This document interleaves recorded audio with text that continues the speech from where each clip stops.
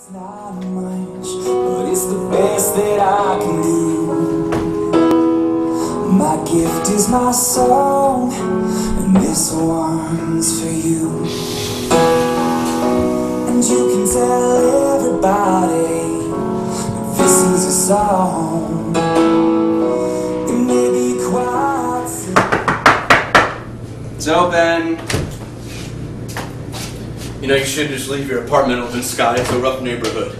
Jackson, you're just not used to being a bohemian anymore. Besides, there are drag queens who need to borrow male dance costumes at these hours, so open door policy. Tea? Can I stay here tonight? Uh, you never asked, baby. Sit down. I'm a fucking piece of shit, Scott. Jackie, what happened? I kissed Frank. When's the wedding? Scott, I'm so sorry. I'm a fucking piece of shit.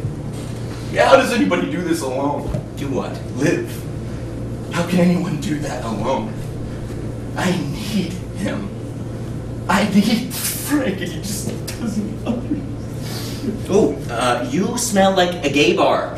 That's what he said. that bar makes a fucking brilliant mojito. Drink your tea. You hate me now. Please. I already did. Drink your fucking tea. Jackie, I've kissed other boys. Is Frank? No. Does Frank think that he's a monopoly on my tongue? Yes, probably. Does Frank know that I've kissed other boys? Also, probably. Sit. Jackson, Frank's selfish.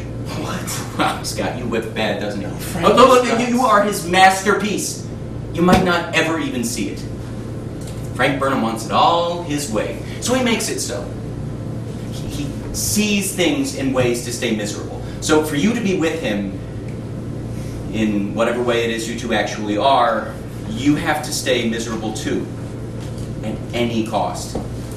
He's been at this game for years, Jackson. Frank Burnham has a better life than most queens painting sad still lives in New York should. How do you figure?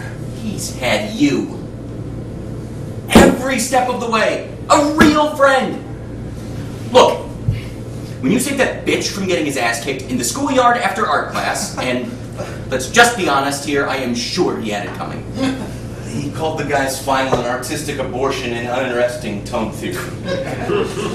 So, deserved it. yeah, totally. You saved him on the playground, and he literally fell for you or on you. We were in college, thank you, and, and I fell on him. whatever. When you threw that first punch, you weren't doing it to hurt anybody but the guy who was kicking the shit out of some poor art bag with glasses. you didn't do a thing wrong to Frank Burnham. You, you just tried to help him not get his teeth kicked in, and then he fell in love with you. And that's not your fault. He just treats you like it is. Maybe. Is so lucky. This whole time, he's had a real friend who's looked up to him not because of some tongue monopoly, but because to you, through some divine connection, Frank Burnham sparkles. You look at him like he's just Shimmer Jackson, like he's the goddamn. You, you believe you can't do anything without him, but that you can do anything with him. I would have killed to ever have a man look at me the way that you've looked at Frank Burnham your whole life, and Frank's never noticed that. He sees things in ways to stay miserable. He sees what he can't have in you, not what he's always had in you. Fucking, fucking. So, you're straight? I think so. Yeah. Honey, straight.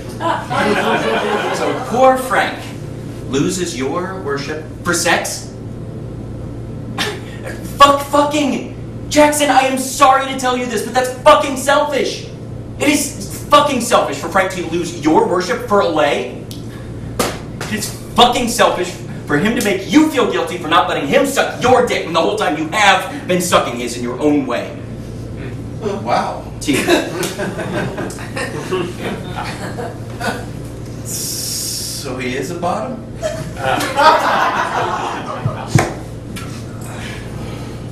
Sometimes. I'll get you a blanket. You know, Frank's lucky you care about his sugar, Scott. Frank's lucky. Thanks, Scott. Well, kind of part of a package deal. Figure I'm stuck with you. I swear you two are gonna kill me, honey, and I used to dance for Madonna. Vote to her. Frank never told me that. Frank's a Paul. Frank's an idiot. Who knew you and I tend to agree?